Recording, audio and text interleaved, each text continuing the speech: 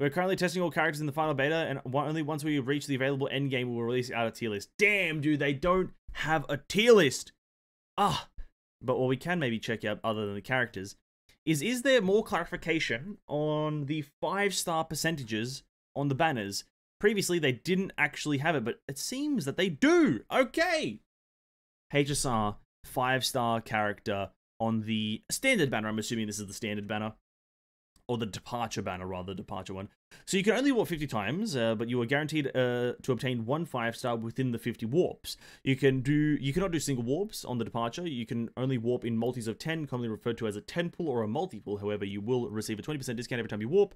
So 8 passes instead of 10. The rate of pulling a 5 star is 0.6%, and the rate of pulling a 4 star is 5.1. No characters or light cones have an increased rate on this warp. You can only use Star Rail passes on this one basic summon ticket.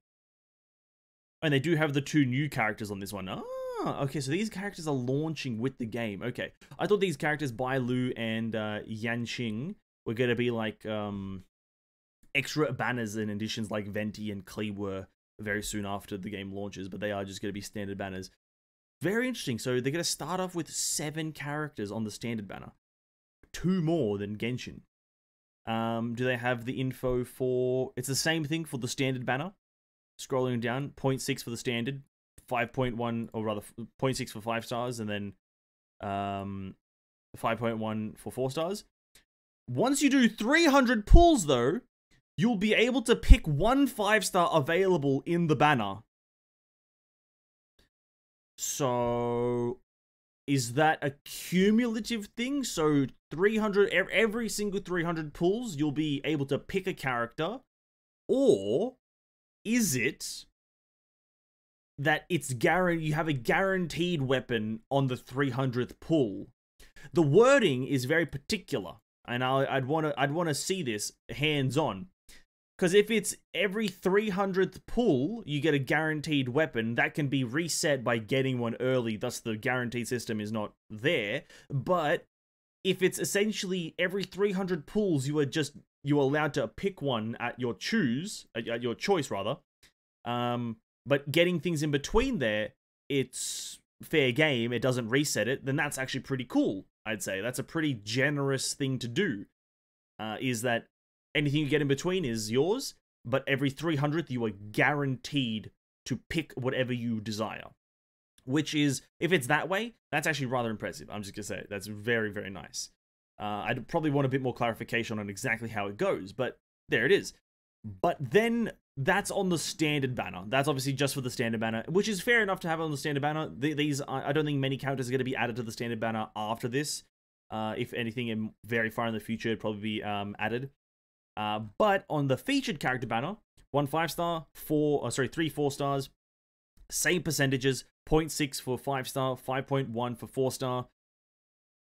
And then it's the same Genshin Impact. Yeah, as we predicted, um, uh, as we predicted, it's the same as Genshin's rates. 50% chance. It's it's a 50-50 system. If you do, if you get it, uh, if you get a five star, oh sorry, yeah, yeah, it's five stars. I thought it was this last second. If you get a if you get a five star, it's a 50-50 between the rate up and any other five star currently there. And if you lose, the next one will be guaranteed the rate up. So yeah, you're guaranteed a five star within 90 pulls. That's the pity. So if you're unlucky, 180 to get the rate up, you can only use the special summons here. Uh, one five star light cone, three four star light cones. The percent chances are increased by. So the five star light cone gets a 0.8%. That's 0.2% higher than the character and um, four star light cone is 6.6 that's a few more percentages above the the characters. Once you pull a five star light cone you have a 75 chance of it being of the rate up. If you lose the roll the second this is what i was expecting and this is good. There we have it boys. We, this is a w. This is a w. So when we looked at this prior to the final beta arriving i was very on the fence of is it gonna be unfortunately like Genshin Impact where it's a three-way 50-50 with their dog shit fucking uh choosing your weapon and then you have to do like like essentially you have to get was it 240 rolls to guaranteed? No it's not. It's 160 for a guaranteed but you have a 75% chance of it being the rate up that's great oh my god this sounds great. This sounds great it's a 50-50, uh, sorry, 75-25 for it to be the rate up on your first one. If you don't get it, if you lose that, 25% chance. Uh, the next one will be guaranteed the rate up. 80 pulls is pity. Fucking great. Amazing. Oh, this is what we needed. This is what we needed. This is what Genshin needs. Why can't Genshin do this? Riddle me this. Genshin, come on. Come on, brother. It's so simple. So simple. Wow. The rate the, the banners have a, a really nice sounding. So this the this is the the starter banner where you'll just be able to get a guaranteed five star if you just use your warps, which you should at the start of every gacha game. If they have this, use your shit there. You'll get good stuff. And then they have the standard warp, which has standard shit and standard characters, but you do have this um, 300 pulls gives you a five star. Um, how it works is to be, I think the game probably knows, or people who play the game probably know. I don't know, but I'd assume it's the generous way of anything you get in between 0 and 300 is just bonus, but at 300 you are guaranteed to just pick one, which is, I think, cool. And then you have the featured character banner, which is just like Genshin's. The rates, the actual percentages aren't like Genshin's, but it's the, the method is 90 pity, 50-50, and then it's a guaranteed if you lose the 50-50. But then the light cone banner, Chef's Kiss, is a 75-25 with a decent chance. Well, I say decent chance. It's, it's not that decent actually. 0.8% is is uh is that what what's yeah what's Honkai's? Is Honkai's like uh lower than that or higher? I think Honkai's is higher than that. Uh, I think I don't know. I think Genshin's is also higher than that. I think Genshin's like one point something, or is it 0.6? Maybe Genshin's is 0.6 as well on this one, so maybe uh, this is higher. Uh, and then uh, yeah, it it's like the 75-25, and then if you lose the 25, you get a guaranteed on the next one, which is fucking phenomenal. Great job. Oh, that right there immediately makes me want to play this game infinitely more. I could see myself dropping Genshin and playing Honkai Star Rail and Honkai Impact if all I fucking know. Who knows? Maybe I'll do that. You'll never know. Uniqueness. Um, I guess we'll take a look at re-rolling for the like. I don't understand this mechanic of re-rolling in gacha games, so we'll take a look at it and um, uh, and see if it's worth it or some shit. I don't really get it, but whatever. Uh, in short, is it even worth to re-roll? No, it's not worth it because it's the same thing as Genshin. It's not worth a reroll. Some time ago, miHoYo removed the guest login option from their games, and obviously the option is also missing in Honkai Star Rail. This means you will need to use a different account for every reroll attempt, because salting isn't working here either. Uh, so if you're already playing Genshin Impact, for example, if you plan to reroll, there's no way to have both games on the same account. It takes around 30 to 40 minutes to finish the tutorial and reach the moment when you can actually start pulling. The long time is caused by the tutorial being quite story heavy and you can't skip any of the conversations and have to click through them. The game rates are pretty low, 0.6 for a 5 star. So it may take you time to, uh, may take you even a whole day of rolling to get one. And it's a high chance it'll be someone that you don't want, as you'll be only to do roughly 20 to 22, 22 pulls when you unlock warping. While we will will receive 20 Star Rail passes, summon tickets for pre-registration, uh, you can't use them on the rate up banners. So for re-rolling for Seele or whoever will be the rate up uh, is basically impossible. Yeah, none of this re-rolling, dude. Don't really care. Um, what was the next one? Combat and exploration. Did we did we even have a look at this one? I don't think much would have changed here. All of these things probably do the same. Yeah, we're not going to take a look at that. Game systems. Is this probably something that they changed? Trailblaze power missions. Daily missions, eh? Mm, okay, so we'll take a look at what you'll expect to receive through game systems. So Trailblaze power. Uh, Trailblaze level increases from, uh, and you have like milestones at level 20, 30, 40, 50, 60, and 65. Uh, so five levels, and the maximum is 70. So that's what, but 60, all those milestones are when you get challenges. Uh, so on and so forth. You get rewards. Trailblaze power is your energy, obviously. Uh, Trailblaze power is a stamina, yada yada yada. You have a store of 180 to a max. You restore one per six minutes. Um, a total of 240 can be generated every day, yada yada yada. And then you have your daily missions. Missions in Honkai Impact Star Rail come in three varieties. Um, missions are, are, the main story missions. They reward Stellar Jades, the game's currency, and are required for the game uh, account progression, as completing them is the only way to unlock new areas. You have adventure. Adventure missions are side missions. Some reward Stellar Jades, and then you have your training. Training missions are daily missions. You'll receive five training missions every day. Each training mission will provide you with 200 or 100 activity points, and you need to gather 500 in total to obtain all daily rewards, which is 60 Stellar Jades, 1000 Trailblaze experience. that many credits, nine lost gem fragments, and three adventures Logs, which is level up materials. Okay. Like every game pretty much that launches, they have a op- operation briefing or do X amount of challenges. Bullshit. That you just have to do arduous tasks or rather trivial tasks uh, to achieve random things, rolls, jades, whatnot, so on and so forth. It's, it's pretty straightforward. It's it, the tasks consist of play the game, right? That's all the tasks are. Play the game. It's not really anything that you'll have to think about. And also, even as an open game, I don't even think Genshin has this. I may, maybe I'm wrong, but I don't think Genshin has like a go button. And I saw uh, people interacting with the system, and it just takes you to the menu that you need, which is very good, very good. Achievements, it's just achievements, nothing really that great. They'll reward you much like Genshin Impact achievements do with small uh, currency boosts and whatnot, Stellar Jades. Assignments, are passive activities that the player can assign their characters to do. While on assignments, characters will passively gather resources and materials for the player. They are equivalent to expeditions in other gacha games. The player can send four characters of 2, 8 total out on assignments at any given time. Each assignment has a duration of 4, 8, 12, and 20 hours. Once completed, the character will bring back the resources and materials listed in the reward section of the assignment. Uh, it's a Genshin Impact expedition system because these time intervals are exactly the same. Um, it's um, I'm not a massive fan of this system. I think it's pretty dog water. I much prefer something how it's done in Archland, where you just kind of have passive resource generation through buildings instead of your characters, because this here requires active usage as you have to come back to this menu every single time, but that's just a personal preference. Rarely would game take, uh, sorry, I, I'll read this now though. Uh, rarely would a game make first part of the story unskippable and the rest skippable unless they intend to make it demotivate re-rolling. Maybe it is to demotivate re-rolling. Maybe it is. Uh, and that's all of the systems for the base part of the game. Very cool. This last part I just don't fucking like, really. I, I hate doing this in Genshin because it's just fucking annoying, really. Unless Star Rail has a better UI for it, which it seems to actually have a better UI for it. But maybe that's just me not remembering how Genshin's UI is for it. But that's okay. Everything here looks good. But 60 Stellar Jades, that's the same rewarding uh, nomenclature. Nomenclature? That's the wrong word uh, the same rewarding amount for Genshin as 100, 180 Stellar Jades is how many you... Was it 160? 160 Stellar Jades is one roll, and you get 60 per day.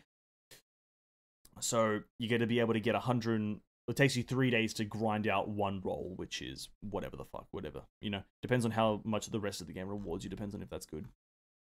Uh, but three days to get one roll. Yeah. Depends on how easy or hard these things are to do, because what is it? Complete one daily mission, clear one Calyx, uh, level up a relic, in a single battle inflict three weakness break or debuffs. You need to get 500 of this, and that one just sounds not fun to do. Some of these, depends on how fun they are to do, depends on if I'll enjoy doing these things. Uh, but, yeah, so far so good, why not? Um, game modes. We'll do this one in just a second. Hopefully we can just assign expedition uh, on the go while exploring. Hopefully, hopefully, hopefully just like a drop down menu that appears and you can do it anywhere instead of having to go to a specific location. Uh, but now let's look at the systems that, well, one that we just read, Calyx. Calyx? Calyx. Who knows? But these look like the Genshin Impact talent book things. But yeah, let's just read. These are your basic resource stages and provide one of the following materials on which Calyx stage you are farming. Calyx Bud of Memories is XP character materials, Light Cone materials is Bud of Ether, and Bud of Grit is credits. Uh, pretty simple, straightforward. Uses the domain system like Genshin Impact. There are seven different Calyx stages, each corresponding to one of the seven paths. These Calyx cycle daily and provide character trace upgrade materials and light cone ascension materials. Not a fan of the daily cycling stuff. I'm that's just me personally. But there is one bonus that they have given here is the fact that it is day by day orientated unlike Genshin, where it's like three different types of uh, talent materials cycling across seven different days, uh, it seems Honkai Star Rail has seven seven different things, uh, calyxes, cycling on seven different days. So one day is always assigned to one calyx. So Monday will be destruction, and then Tuesday will be erudition, and so on and so forth. So it'll be a lot easier to remember it um, but then again, I could just read further ahead and prove myself wrong. Monday and Thursday is Erudition and Harmony. Tuesday and Friday is Hunt and Nihility. Wednesday and Saturday are Destruction, Preservation, and Abundance. And Sunday is all of them. I proved myself wrong within a fraction of a second, and it's crazy how it happens. It costs 10 Trailblaze power to do one Calyx stage. You can queue up six Calyx runs at a time, especially essentially, this allows you to repeat the same Calyx stage without having to exit and re-enter. Each run will cost you 10 Trailblaze power, 60 for you to queue up runs. Oh. Oh, really? No autocomplete? You have to queue it up? And you have to watch them all happen? Is this going to be one of those situations where you just press a button and you leave your device to AFK whilst you go make a cup of tea and you come back and it's not done? Is that going to be one of these situations that nobody likes? Is this going to be one of those situations that nobody likes? Listen, maybe an autocomplete button removes a lot of fun but god damn it does it make the game a lot more enjoyable to play, let me be real with you. But we'll have to wait and see what queuing up means. Maybe it's really fun, maybe it's really fast, rather, sorry, not fun. Maybe it's really fast, and maybe there's like three times speed and you can kind of get through it a lot quicker if you can clear all of it just an autoplay, right? Who knows? Anyway, Stagnant Shadow. These stages uh, reward character ascension materials. There are seven different stagnant stages, each one corresponding to one element, and it costs 30 Trailblaze power to do one Stagnant Shadow stage. This is for character ascension material, which is not something that you're going to be doing overly frequently, just to ascend your characters through to the next threshold. Quite simple, like Genshin. Uh, Cavern Corrosion, these stage rewards relics, which is your equipment, I believe. Uh, it costs 40 Trailblaze power to do one Cavern of Corrosion. Uh, yeah, I believe the relics are the Genshin Impact artifact equivalent, which is, hey, listen, I'm 40 Trailblaze power. You have 100 and how much in total? Where was it again? Was it 180? Was it 180? I think it was 180. You have 180 in total. 40, you do 8. I can't do maths. Four runs? Four runs. You do four runs, because, yeah. I suck at maths. Fucking hell you do some amount of runs, um, and you get gear. It is, it is. Echo of War, these are your weekly boss stages and reward relics, trackers of destiny, which is a character skill level up material, and light cones. You can do uh, only do three Echo of War runs every week. However, you can do the same Echo of War stage multiple times. Very good. That's a very good touch. Now, here's why that's a good touch. Now, Genshin runs into a specific problem at certain stages of its kind of patch release date, and it very much happens when a world boss is released. Usually, when a world boss is released, people are very much in a desperate desire to get good RNG of the world boss's specific material drop rate so they can actually level up the recently released character who needs that material. This alleviates that problem to a certain extent because if you need a specific boss, you just farm that one three times a week and you get the materials relatively quickly instead of having to do one per week, thus a very slow accumulation. So this is actually a rather good change. Very good, but you only can do it three times a week, which is the same as Genshin. Uh, no, it's not. Sorry, no, Genshin is not like that. Sorry, Genshin is infinite, but you get a reduction for three, uh, three times a week, which is sorry, that was my bad. Uh, yeah, three times a week. Eh, that's fine. Whatever. Uh, again, if you're an early game player, this is not going to affect you too much because there's probably not going to be seven bosses at the start of the game. There's going to be probably one, two, maybe, and you're going to be running them consistently. But if you're obviously a, uh, a, a late starter, you know, starting maybe two months in, four months in, a year in, uh, it's going to affect you most of all. But maybe there'll be some catch-up systems implemented later on. Um, it costs 30 Trailblaze power to do one Echo War stage.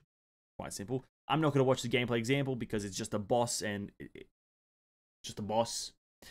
That's that. Forgotten Hall is a game mode where the objective is to defeat a group of enemies in as few turns as possible. After completing a Forgotten Hall stage, you will enter, you will be awarded uh, between 0 or 3 stars for the stage, depending on how many turns it took you to defeat the enemy in the stage. The more stars that you are awarded, the better the rewards you receive. Ooh, it seems like a bit of a Elise, uh, not Elysian Realm, sorry, the other one, the Genshin one. Oh, fuck, what's its name?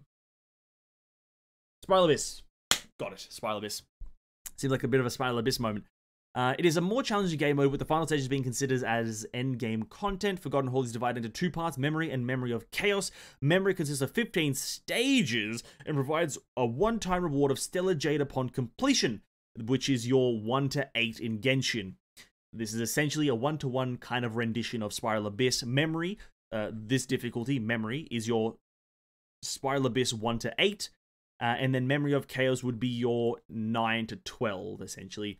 A Memory of Chaos, which is the latter, latter difficulty, consists of 10 stages and rewards stellar jades upon completion. Memory of Jades are more challenging than memory stages. Sorry, Memory of Chaos are more difficult than memory. Uh, memory of Chaos stages reset periodically, allowing the player to complete them again for additional Jades. But how periodically is the real question now? How periodically? Um, not going to look at the gameplay though, because uh, again, it's just going to be you fighting enemies, nothing too crazy.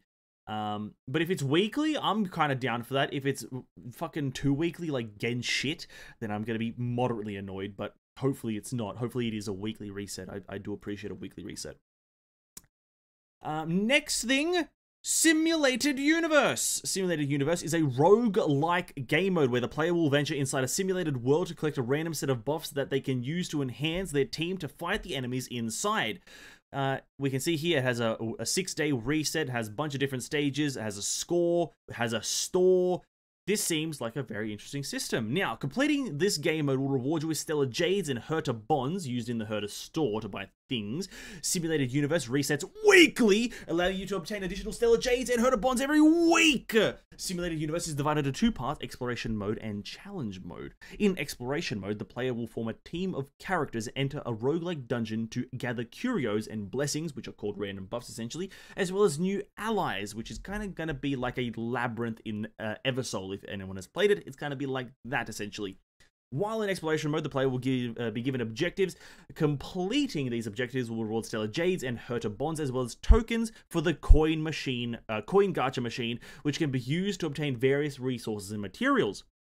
After completing the exploration mode, the player's current team and any curios and blessings collected will be saved. This team and the collected buffs will be what the player can bring into the simulated universe's challenge mode. In challenge mode, the player will face off against a number of tough enemies, which rewards additional Herta bonds if the player manages to defeat them.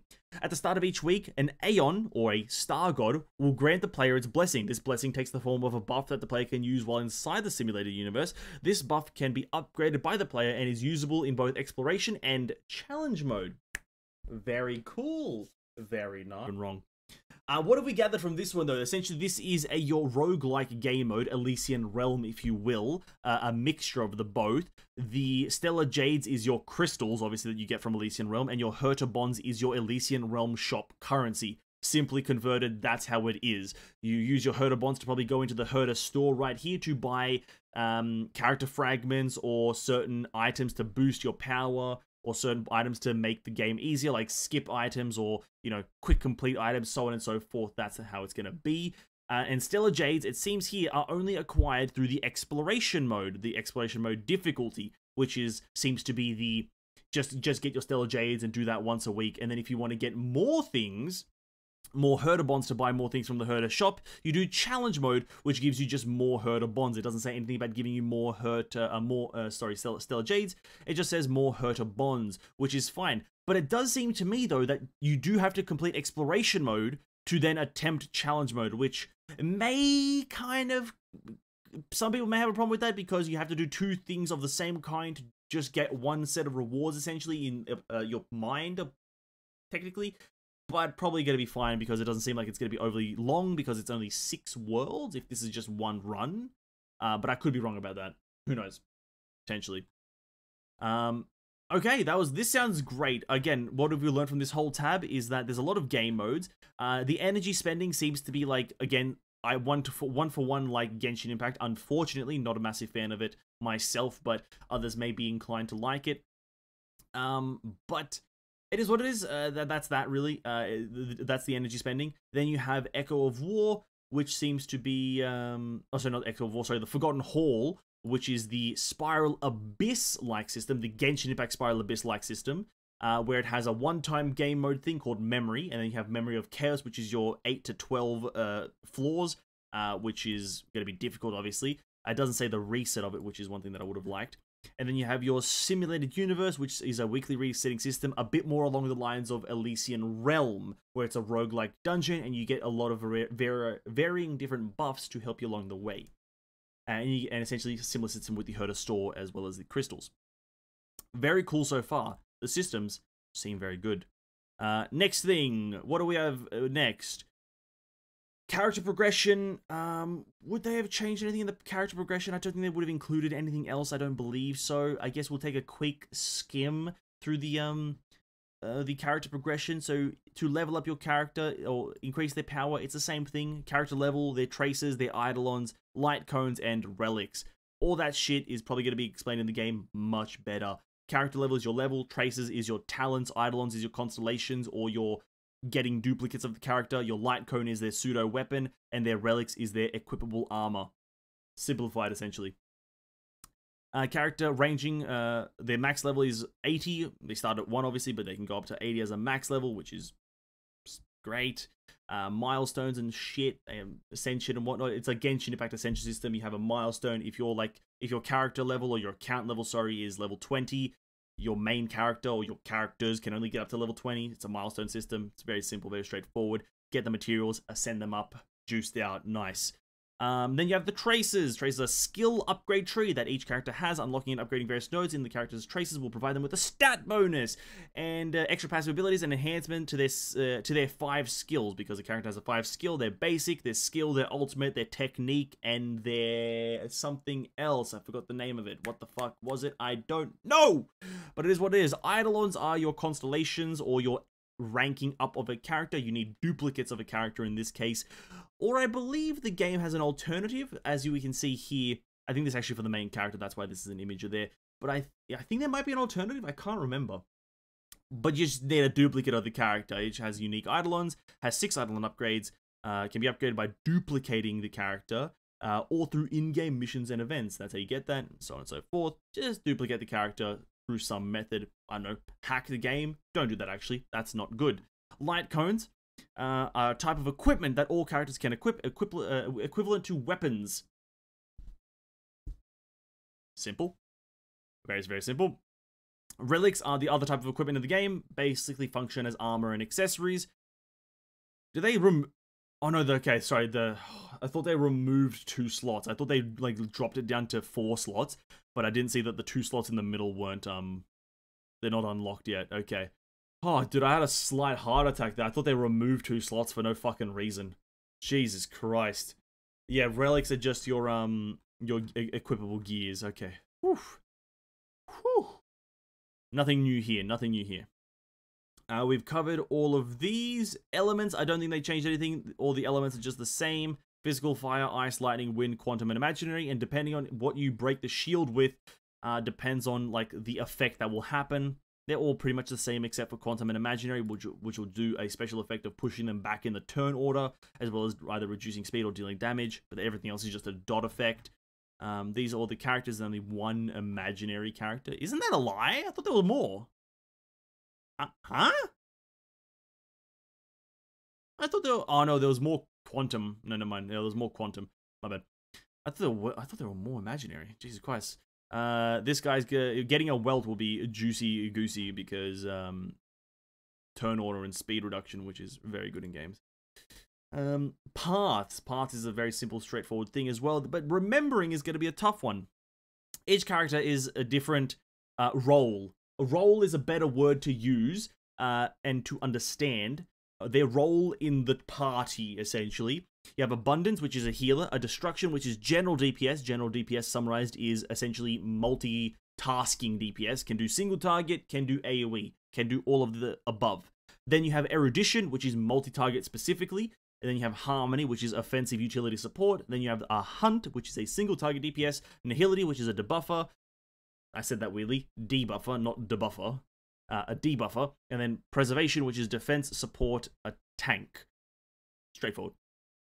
Um, and here's the list of paths that currently have no characters attached to it. There's more? I had no idea they added more. These were these were these were not here for a while. Beauty, Elation, Enigmata, Propagator, Remembrance, Trailblaze, and Veracity. My only question or thought is you kind of got all of them covered up here. Like, this is really... As you got them all covered. You got healer, heals, You got DPSs that do DPS. You got an offensive utility support. They support you. You got a defensive support. They support you, but a bit more defensively. And you got a debuffer. Like, what could this be? Like a DPS debuffer, I guess? Maybe a bit more specific? Or maybe make them overpowered, potentially. Who knows? And then you got each character in their respective roles in there. Know, you're to want... I don't know, I've heard Kafka's really good, so you're to want to get a Kafka or some shit. Oh... And then that is all. I'm not going to go into light cones. That's going into specific things about light cones. Um, but that's essentially it. That's that's uh, all the new stuff that Prydwen has provided us with um, on the final beta. Nice. They're gonna probably gonna put some shit like fast DPS and stuff. Probably the DPS with much more speed than others. Oh yeah, it's it's gonna be an introduction of power creep through something. They're gonna have like a debuffer DPS um, that like has super high speed and debuffs the enemies with their attacks and whatnot. So who knows? But that's that's that. I thought I, I might even upload that as like a, a pretty a pretty big video on the channel, just going through everything if people want to rewatch or whatever. But that's all the systems that are in the final beta so far, and that probably will make their way to the base game or to the launch of the game. So yeah, there it is. Honkai Star Rail. Um, it's a game.